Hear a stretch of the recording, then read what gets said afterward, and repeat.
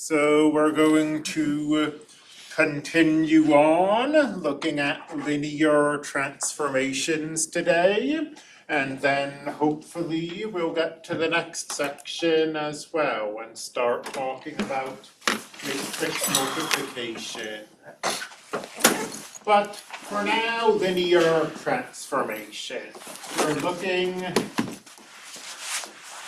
transformations from Rn to Rm. Those might be different sets of vectors. So we saw like the zero buffering. Um, we saw the trimming off of the last entry, or maybe they're not. Maybe n and m are equal, and we're going from R2 to R2 or whatever. And we've said that a transformation is linear if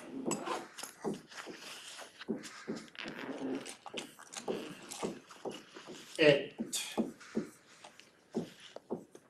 satisfies two conditions, the linearity conditions.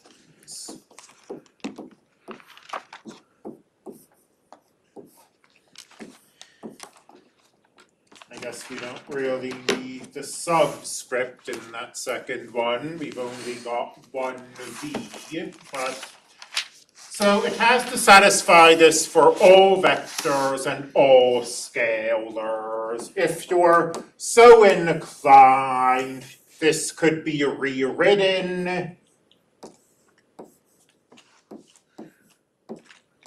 As a single statement, but the the cost of doing that is that your statement is more complicated. But you could take that addition and that pulling out the scalars and rewrite linearity as just it has to satisfy that last condition for every vector v one, v two, for every scalar k one, k two.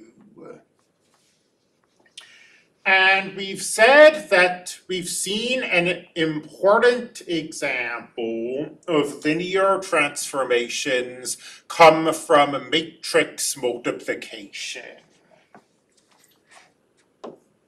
We can define a transformation, I mean, assuming that the sizes match and this matrix vector multiplication is defined we can define a transformation using a matrix and um that transformation is linear. So here's our um here's our first example of how matrices can be used without any sort of underlying system of linear equations. And I've said this is an example, and I've said it's an important example. In a very real sense, it's the only example. In the following sense, theorem. If T of V is linear, there is a matrix A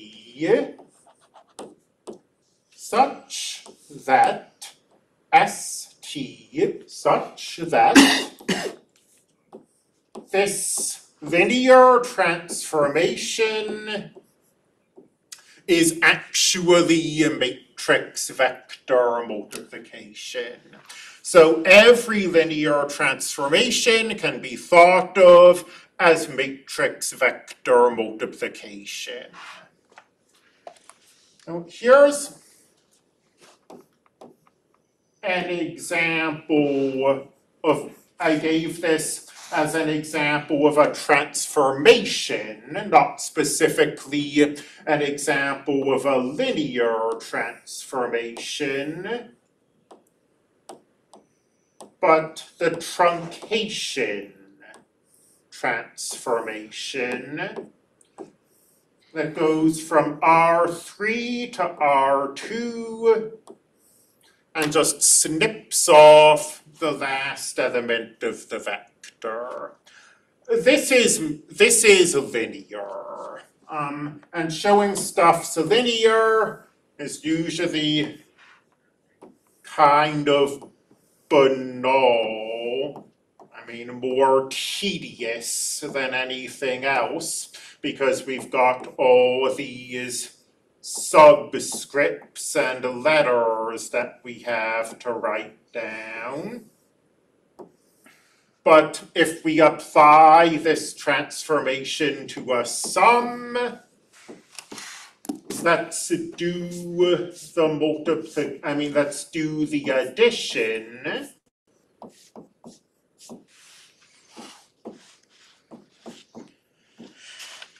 Okay, so we're applying t to this vector.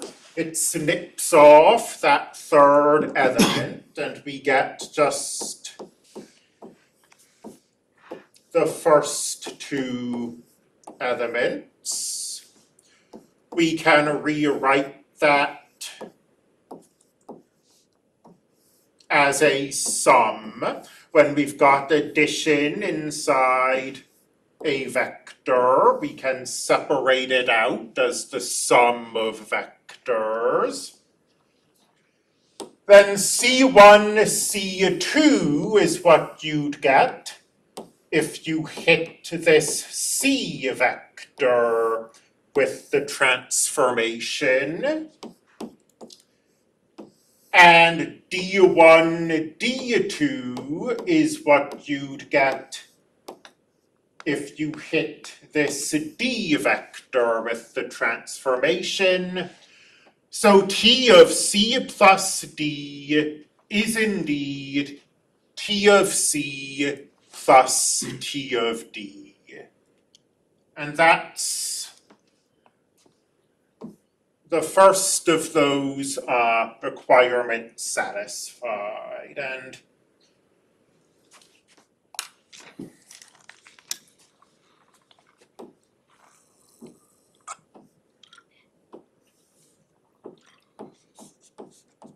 if we now have a scalar, uh, well, that scalar can go inside.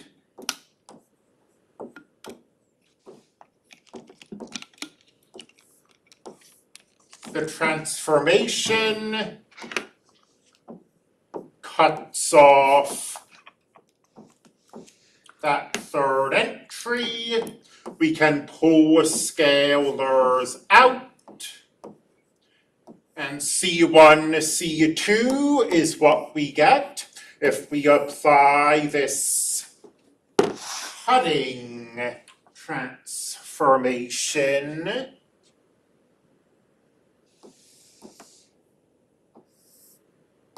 to C1, C2, C3. So T of KC does equal K times T of C. That's both the requirements for linearity, so this is linear. Now when I stated, state this transformation here, there's no references to matrices.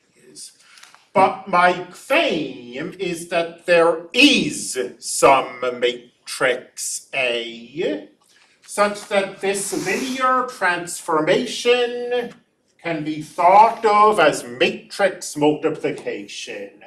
There's some A such that multiplying by A cuts off that third entry, and I can think of this linear transformation now in terms of this A.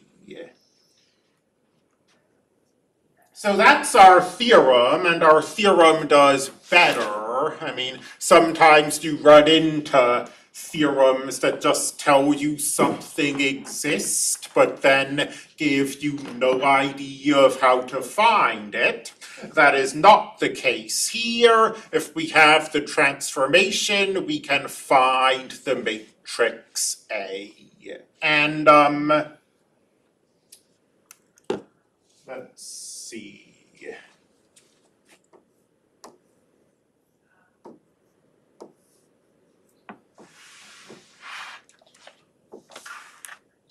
So we've got a transformation from Rn to Rm.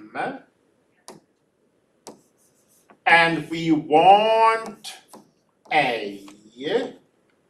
And this matrix we want, what, uh, how big should it be?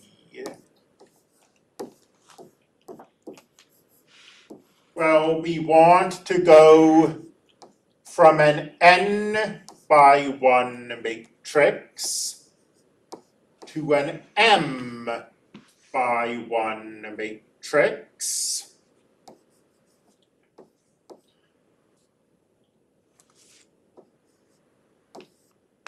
Yeah, that really got uh, stuffed together in a visually not great way. But for this multiplication to be defined and to take us where we want it to take us, to go from Rn to Rm, we need A to be m by n. So m rows, n columns. And I've said before that we often think of matrices as being vector storage units, a bunch of columns sitting next to each other. So to find A, we're going to find each column of A individually and then put them together.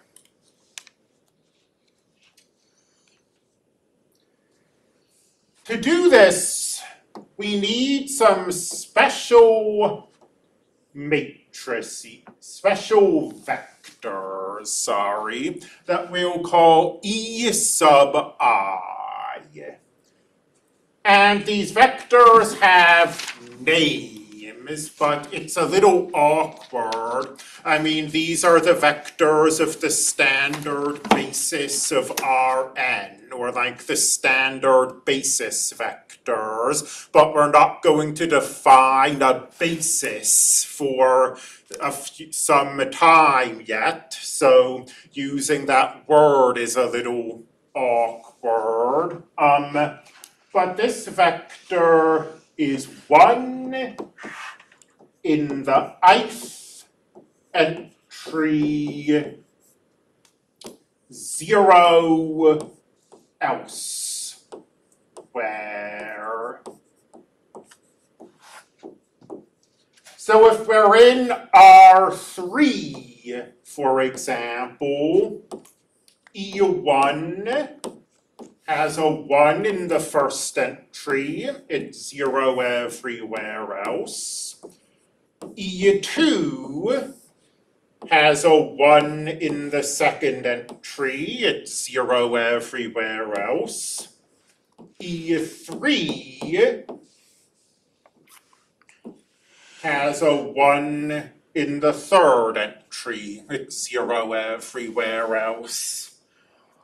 Uh, making this slightly more awkward is the fact that if you've taken calculus three, these vectors get used a lot in calculus three, but they get called something different. I, K, I, I forget all the letters that are used, but they have different names in calculus three than they do in linear algebra. That's just one of those things. But To find this to find the matrix of a linear transformation,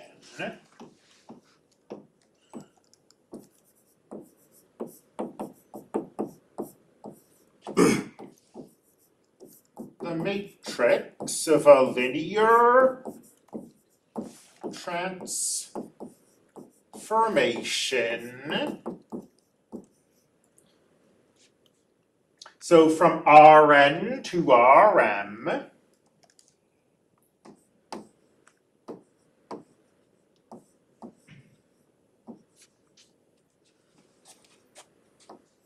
we're going to take the linear transformation and we'll apply it to E1, and that will be the first column. Then we'll take the transformation and apply it to E2, and that will be the second column.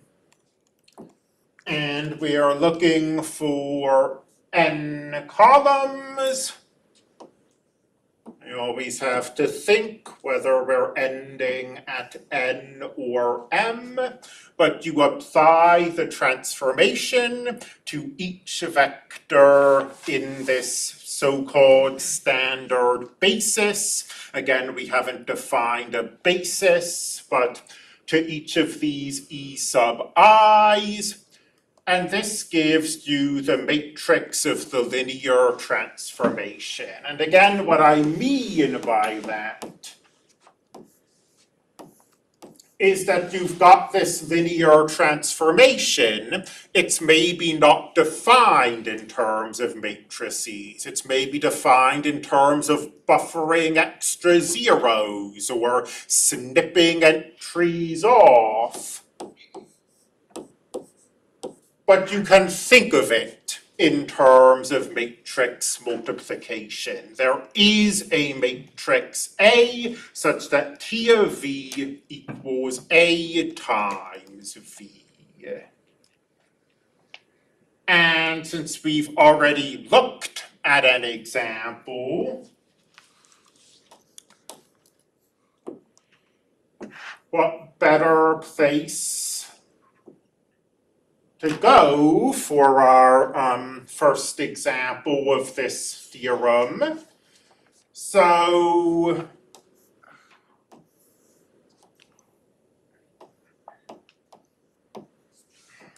we've defined this linear transformation that cuts off the third entry. And we've demonstrated that it's linear. And you have to be a little careful when you use this theorem because, I mean, if t isn't linear, there's there's nothing to stop you from creating this matrix, but the matrix won't do what you want it to do.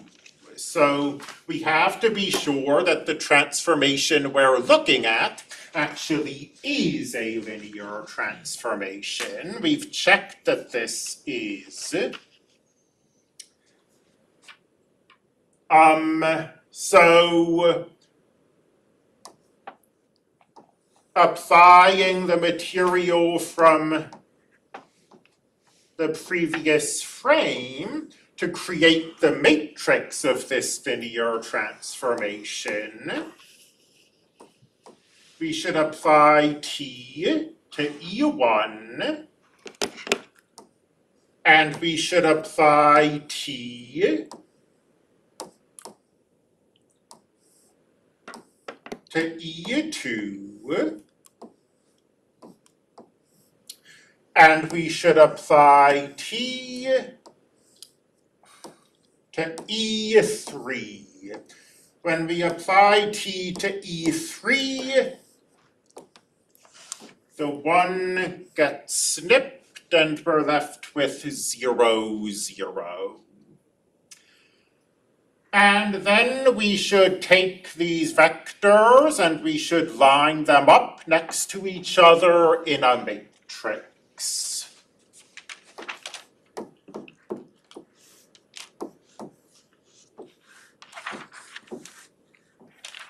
And my claim is that this matrix um, performs the snipping, or I guess truncation is the fancy word, but this matrix performs the snipping transformation. If we take this matrix and we multiply it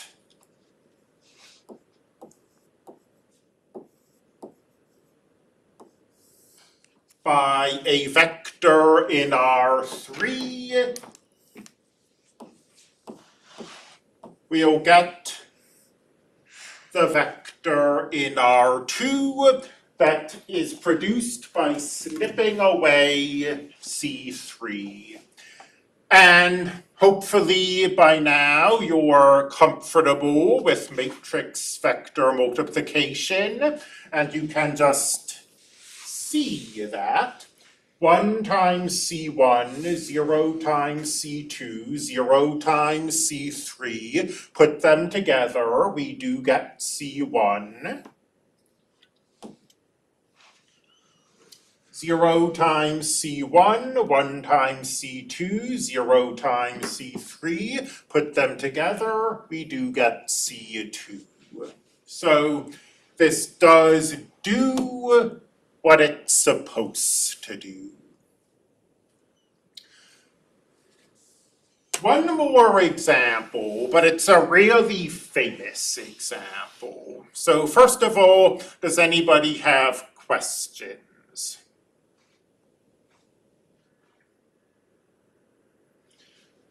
So this really famous example, as I call it, is on the plane and the transformation in question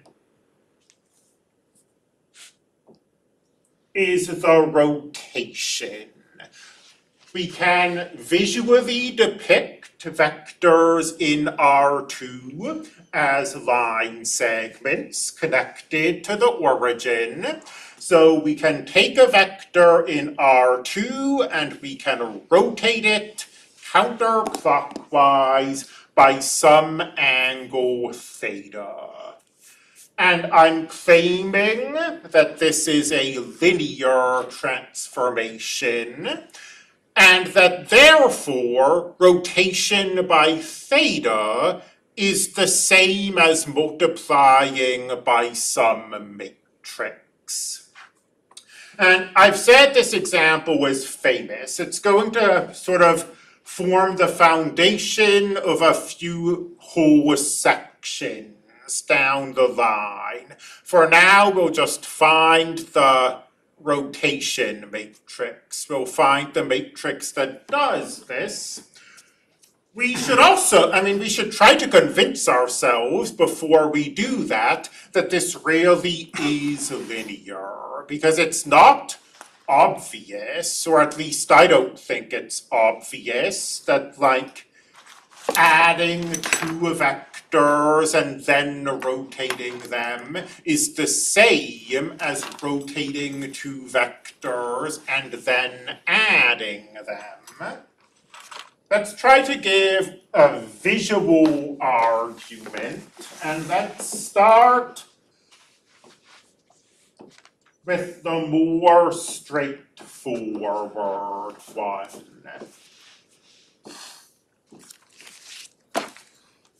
That T of kv equals k times, sorry, not times v.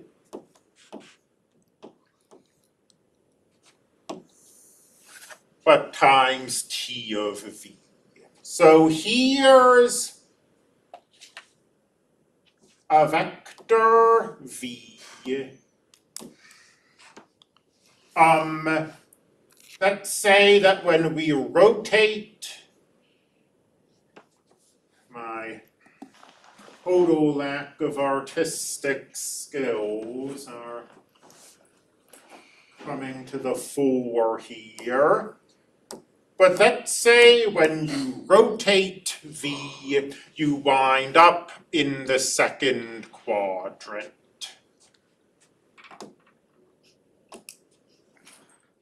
Okay. Times V, that's a scalar product. It's going to take V and it's going to scale it, either stretch it or compress it. Let's say it stretches it. So there's K times V. Similarly, K times T of V is um got in by taking that vector T of V and stretching it.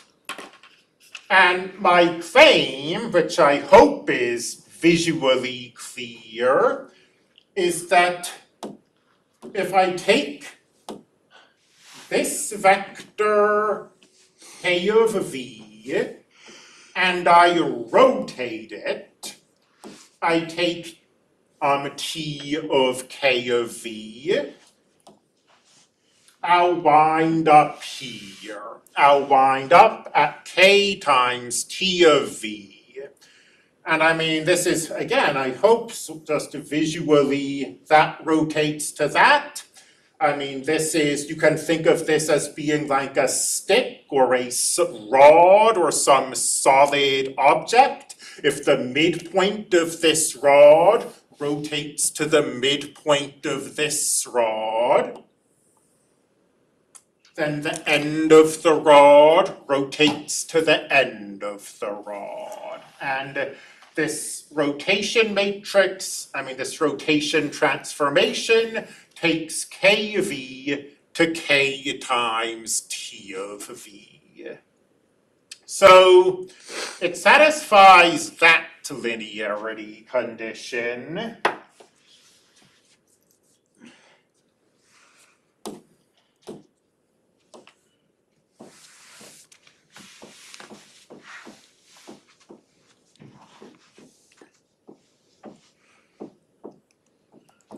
What about this linearity condition?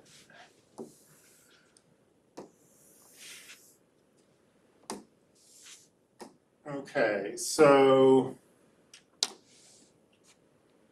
here's U, here's V.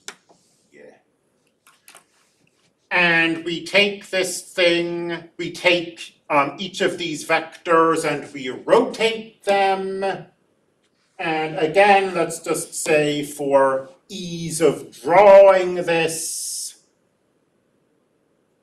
that everything winds up in the second quadrant. There's T of U and there's T of V. And the parallelogram rule, the parallelogram principle, tells us we can think of addition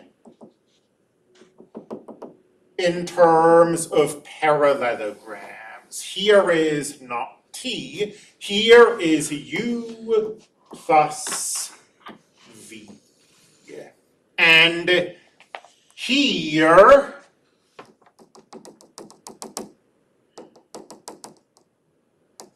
is T of U plus T of V. And our claim is that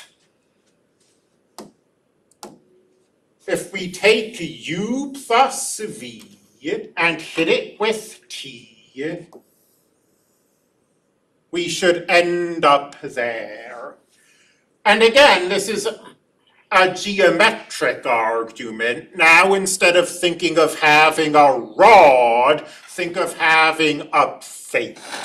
You've got this plate, you're rotating it.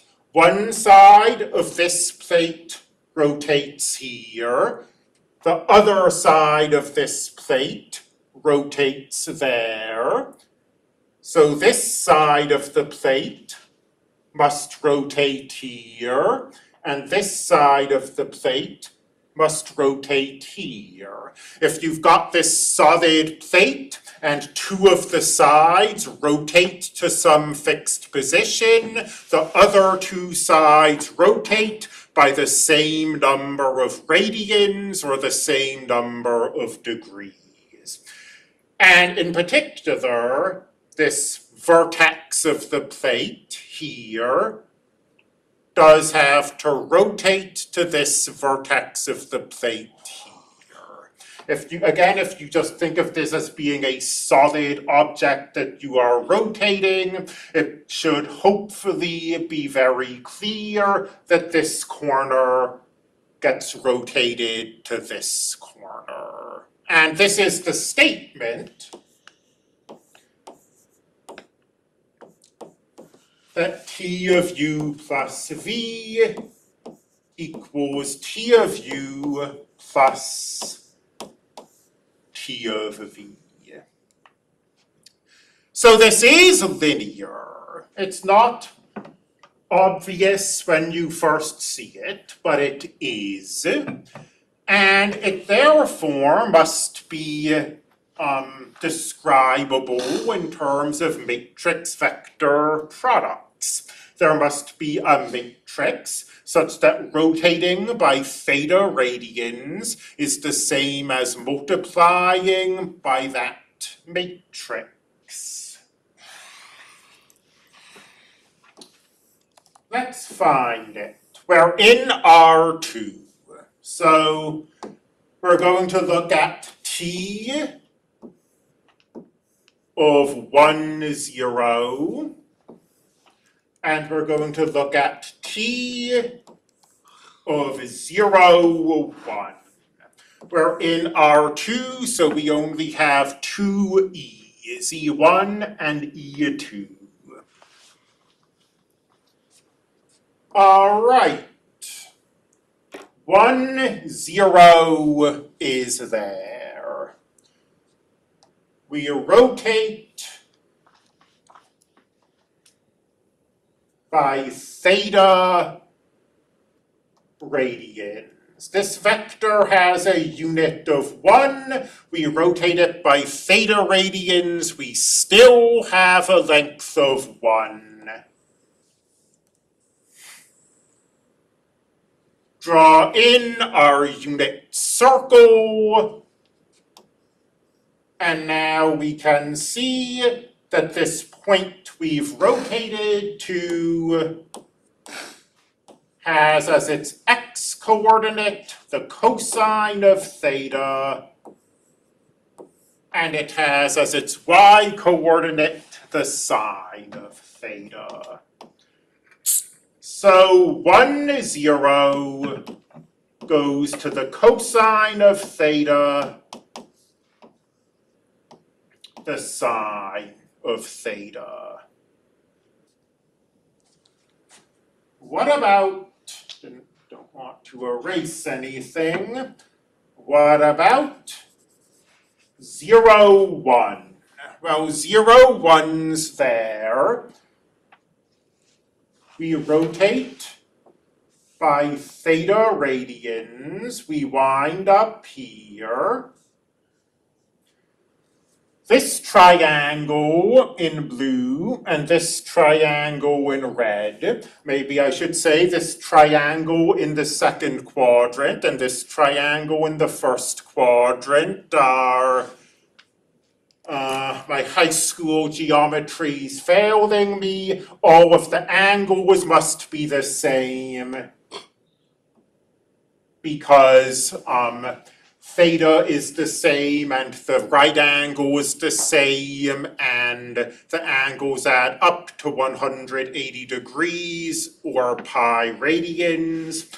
All of the lengths have to be the same because all of the angles are the same. And the hypotenuse is the same. The hypotenuse is one. So equilateral, is that what I'm looking for? There are two triangles and the angles and the sides are all the same. So as far as the x coordinate and the y coordinate, well, those lengths are the same, so this is the sine of theta. So this is the sine of theta, but we're going negative, we're going into the second quadrant, so that's negative the sine of theta. Then this and this are the same. Um, this distance is the cosine of theta. So that distance is the cosine of theta.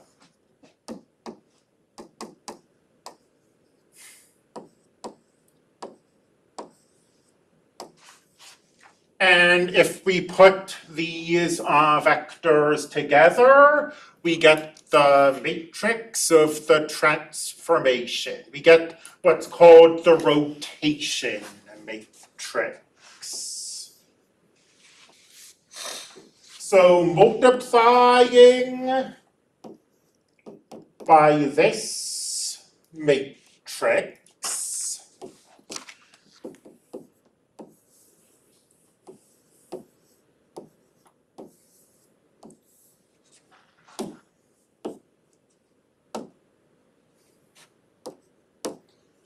will take a vector and it will rotate it in the plane by theta radians. I mean, I guess I haven't done anything that requires theta to be measured in radians. It's just what I'm used to. But by either theta radians or theta degrees in the counterclockwise direction. And I mean, I think this is a pretty interesting and powerful result. I mean, when you first see matrix vector multiplication defined, you sort of accept it because because I say it's right and because we can rewrite systems of linear equations but there's nothing in the definition of matrix vector multiplication that intuitively would make you think you can use it to talk about rotations in the plane. We have just seen, though, that you can. So this is um, a very powerful definition, much more than just another way of talking about systems of linear equations. Because, I mean, there are no systems of linear equations underlying this example. Um, why does this work? By the way. Let's just give a pseudo proof. Pseudo proof because I don't feel like working in complete generality with n's and m's and all sorts of dots. Let's just look at the case where we're going from R2 to R2 and T is a linear.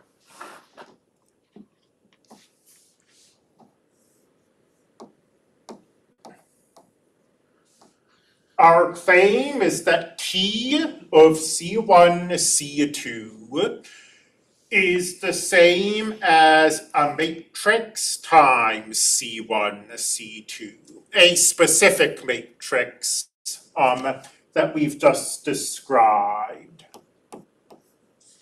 And the, the basis of this argument, and we'll come back to this later. This is a really important idea. That a vector can be described as a linear combination of simpler vectors. vectors. C1, C2 is C1 times E1 plus C2 times E2. Is that clear to everyone? And that's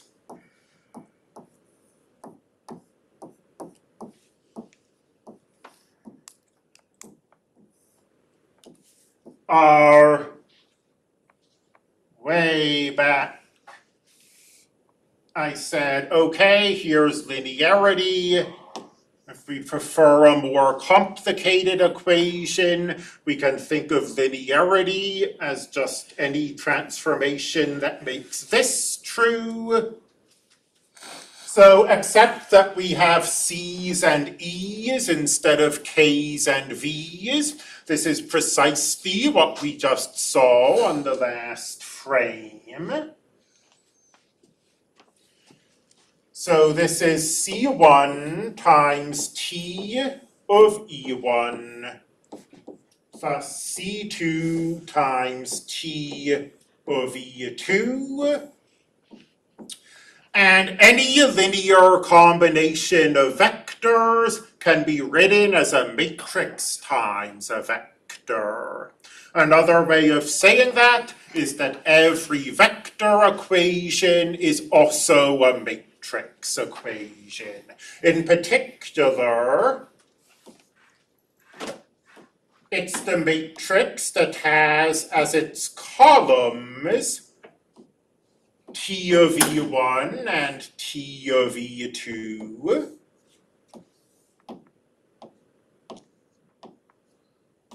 The vector stores the scalars. And this is precisely what we wanted. The transformation applied to C is this matrix T of E1, T of E2 times C. So, and I mean, as I say, I spared myself writing a bunch of subscripts and a bunch of dots, but I hope it's clear that, you know, if we were going from R5 to R2 or whatever, this argument, you take the vector, you break it up using these e's, then you get have this, you hit it with linearity, you get this combination of vectors, this combination of vectors is rewritten as a matrix times a vector. Nothing in this argument required us to be going from R2 to R2. And in fact, none of even, I mean, even what I have written on the board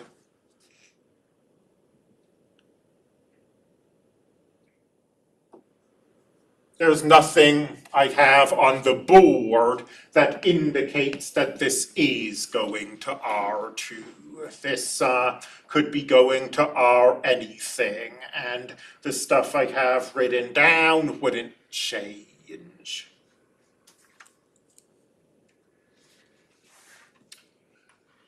Okay, we're not done with this section. Um, getting to the next section is looking more unrealistic, but that's fine. I said it in my Canvas announcement that it wouldn't shock me if we didn't finish three sections this week. Let's define one-to-one linear transformations. Well, I say one-to-one linear transformations. There's nothing in the definition that requires linearity. It's just that in this class, the name kind of gives it away. We're looking at stuff that's linear. So Let's define one-to-one linear transformations from Rn to Rm. You might have seen this if you've taken anything with Vogel.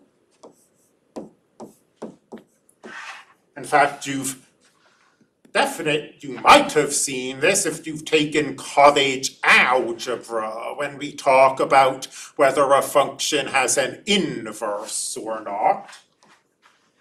A transformation is one to one if every, I'm gonna say this formally and then try to make it clear what I mean. If every image has only one pre-image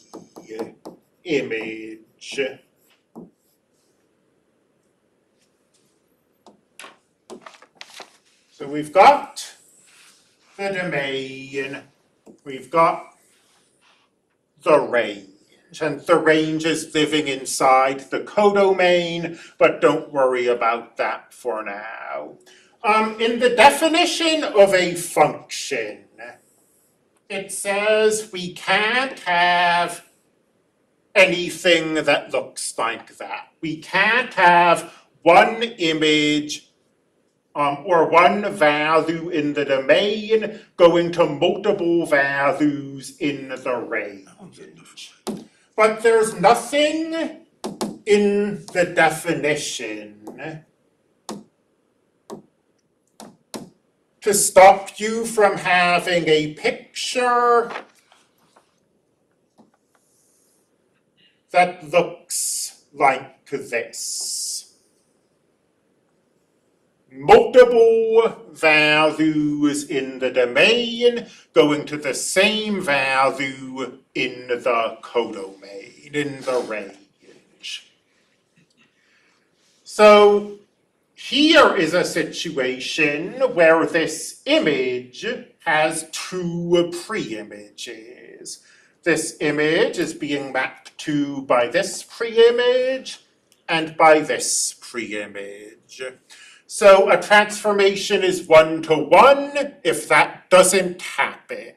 If every um, image can only have one pre-image. The, the mathier way of writing this, sort of as an equation, is to say that if T of V equals T of W if V and W are being sent to the same place, then actually V and W are the same vector.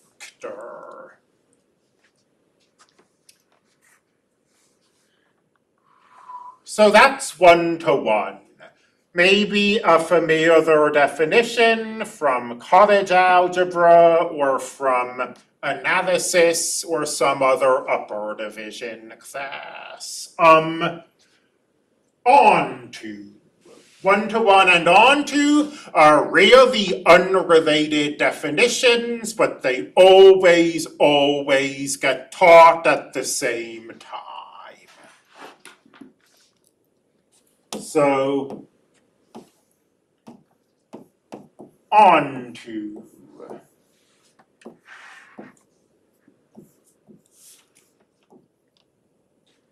um so we've got a transformation and that transformation has a domain and it has a range and that range lives inside a bigger set called the codomain. So the codomain is R. Um, and the range, there can be values in the codomain that are not in the range. I mean, as a, as a two-minute example, we can go from R2 to R3.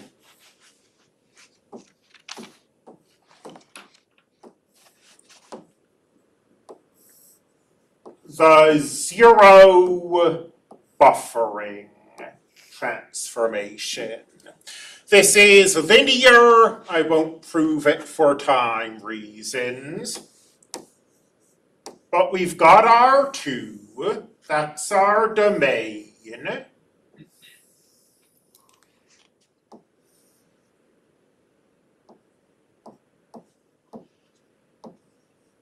Only specific values in R three are mapped to by this transformation. Because the way this transformation is defined, that third entry of the vector has to be zero. So you've got the range where the third entry is zero. And the range is sitting in R three. And there are values in R three that are not mapped to by this function. For example, one, one, one is not in the range, it isn't mapped to.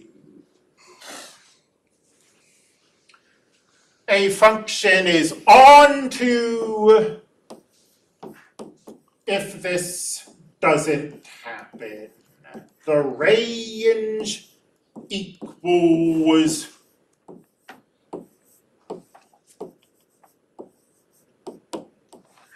the codomain.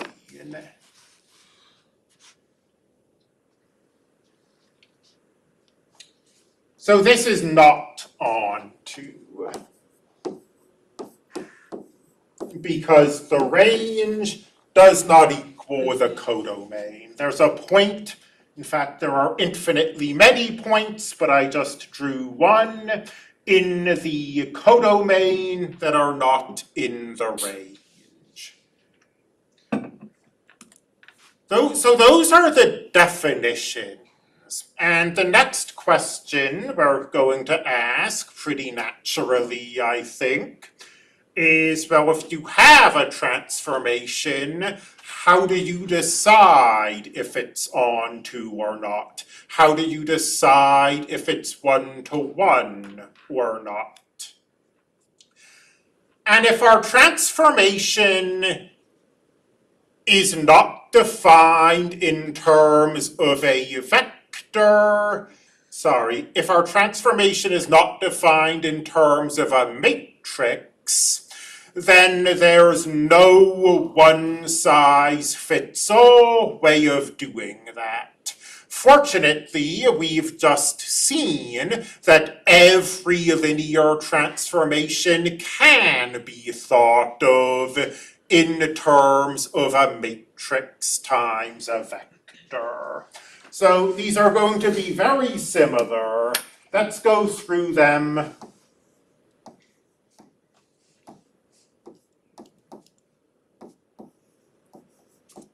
one to one. We've got a transformation. The question on board is, is this one to one?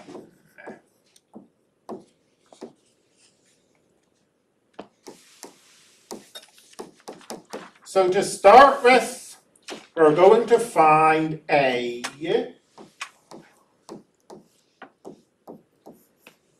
such that this transformation is the same as matrix vector multiplication.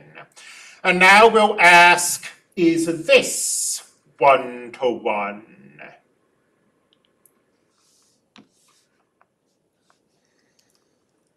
And let's think through what this is asking. Being one to one says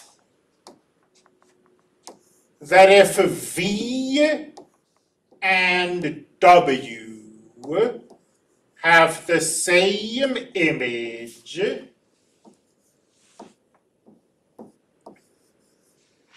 then V must equal W. That's the definition of one to one. As we stated it down there. AV equals AW can be written AV minus AW equals zero.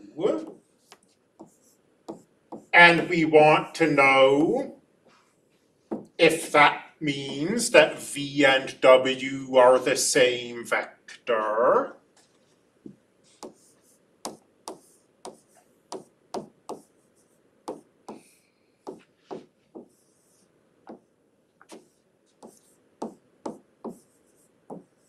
We can pull the A out.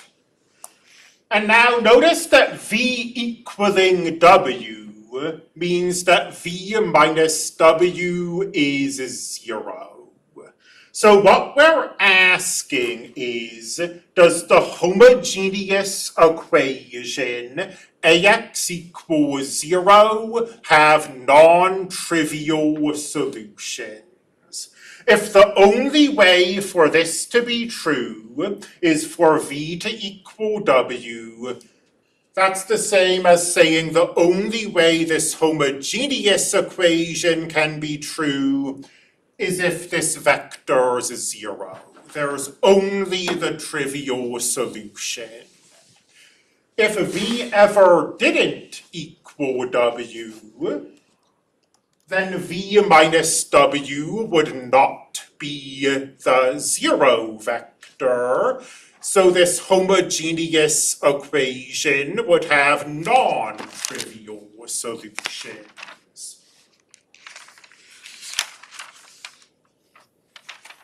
So if that makes sense, there must a faster way to erase.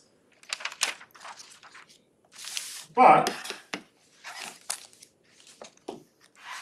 this is one to one if ax equals zero has only the trivial solution. Which, when people struggle in linear algebra, this is a bit of an aside, but it's going to tie back into what I write now. When people struggle in linear algebra, it's usually not so much because any individual piece of the class is so difficult.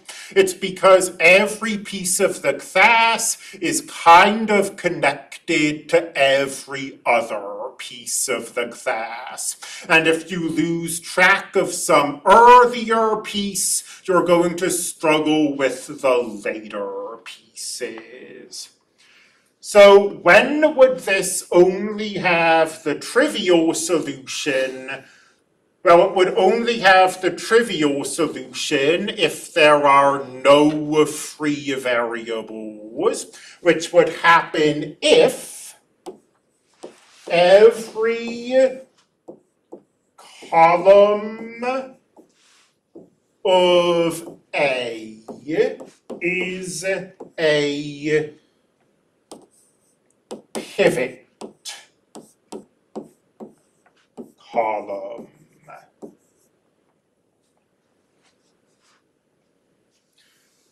So to, so to determine if a transformation is one to one, we find the matrix of the transformation A, we hit it with Gauss-Jordan elimination, because that's the only way to find the pivot positions.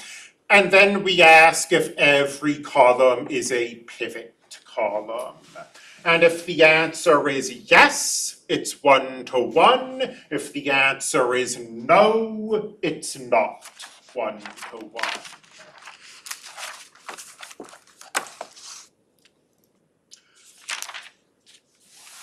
On to, let's, let's do one to one and on to, and then let's do an example with them both.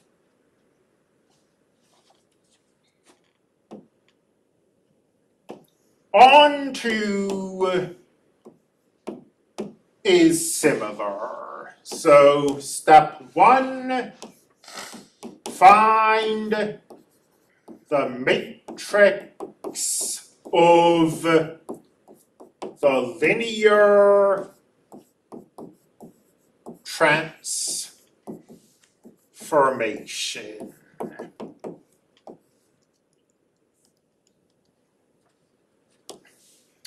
So it's on to if an equation that looks like this always has a solution.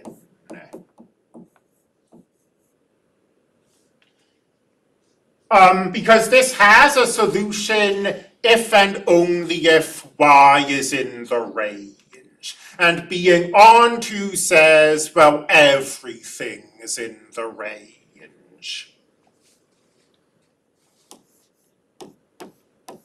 So, because we've recast this, we've reframed this, in terms of a matrix times a vector, we're asking if that matrix equation always has a solution. And we've seen, but hope and hopefully we can dredge up, we've seen when a matrix equation always has solutions. A matrix equation always has solutions if every column of the, if every row of the matrix, sorry, is, has a pivot position. Because if every, because remember the way we wouldn't have solutions is if we had something like this. And if every row has a non-zero entry, well, we can't have a row that looks like this. So let me just write this down.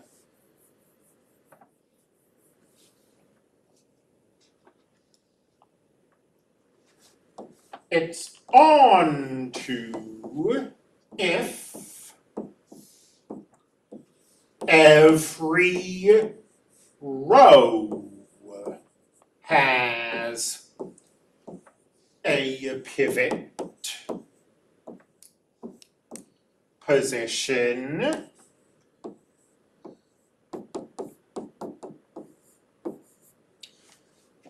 And of course, the key is not to confuse one-to-one and on-to.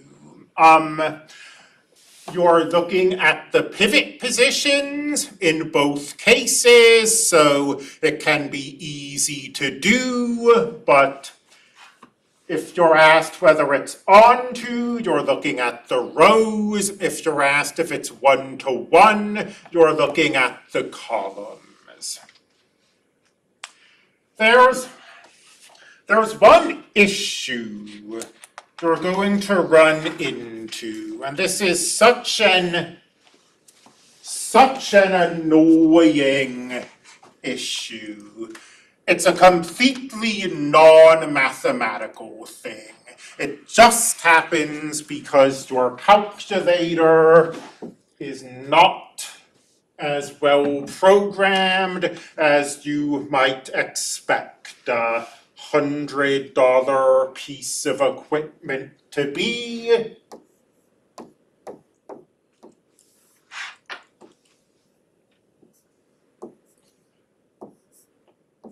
So in the notes, I gave a linear transformation, but we're running low on time. So let's say you found the matrix and it's this, and you want to know whether this is one to one or on to. Well, to answer that question, you're going to have to put this into row echelon form or reduced row echelon form.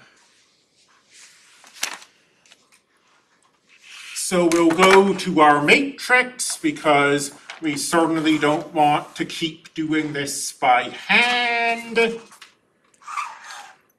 And we've got two rows and three columns.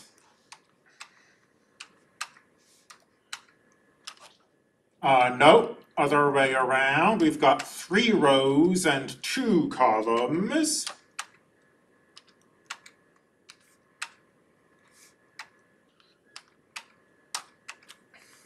So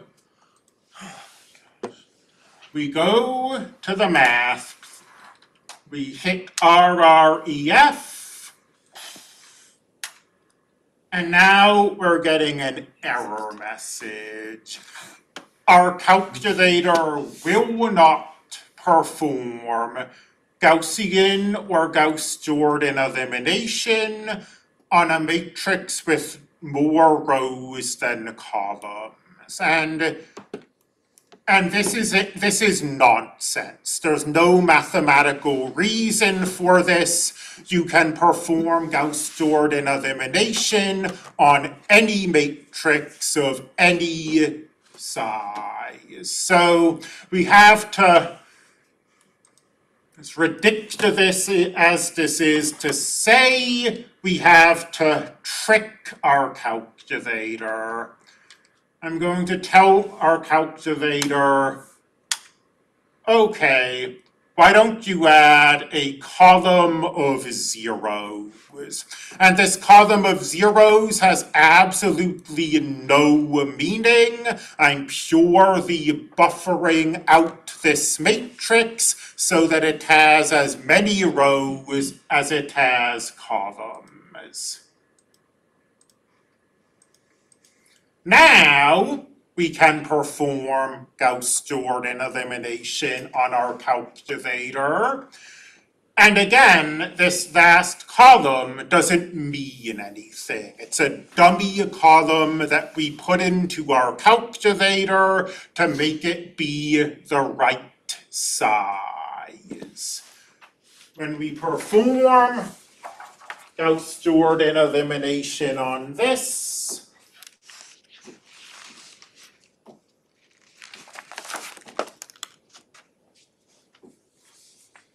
we get that. So it's very annoying. I mean, they keep,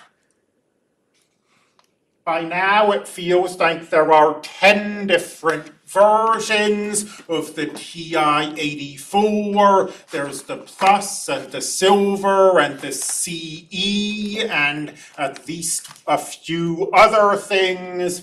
And they still have not fixed this very easy to fix issue. Now, this is what happens when someone has a monopoly. Um, in terms of transformation and one-to-one and onto, this is not onto because there's a row without a pivot. I mean, our pivots are here and here. The third row doesn't have a pivot position. It's not onto. It is one to one. Every column has a pivot position.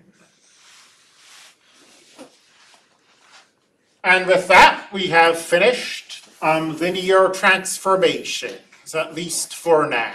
So there's a homework on Canvas, it's attached to this module, um, but it has problems from both this and the last section, both the linear transformation sections.